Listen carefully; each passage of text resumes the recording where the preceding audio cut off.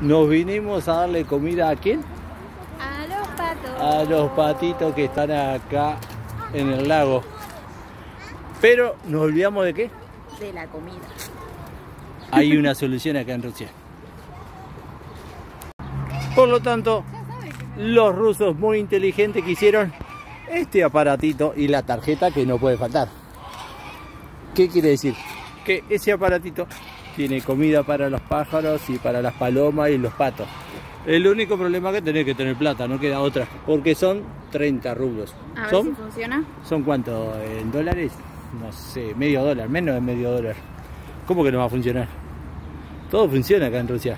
Ahí está cargando. ¿Pensó? Uy, uy, uy. Poné la mano, poné la mano que te las tiro todo afuera. Y las palomitas están esperando la comida.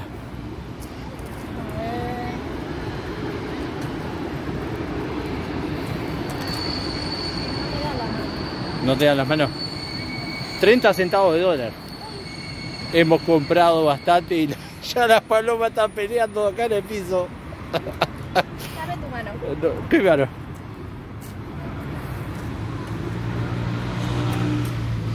Todo esto por 30 centavos de dólar.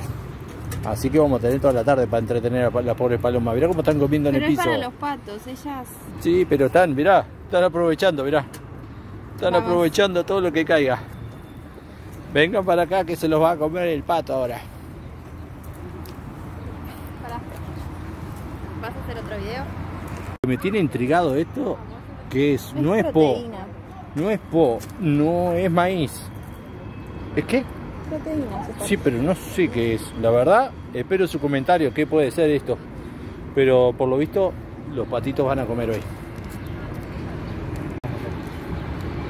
El primer pato ruso que vamos a darle de comida. Este es el pato Darwin. Mirá, mirá cómo come. Mirá, mirá. Eso, mirá, mirá cómo empiezan a venir. Pobres palomas, quieren también comer. Vamos a buscar a aquellos que están allá, que hay mucho más.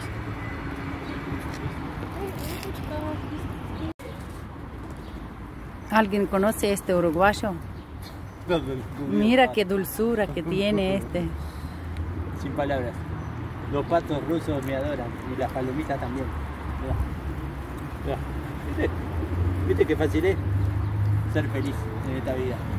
Ya llegamos a viejo, jubilado y donde de palomita de maíz a los pájaros y a las palomas y a los patos.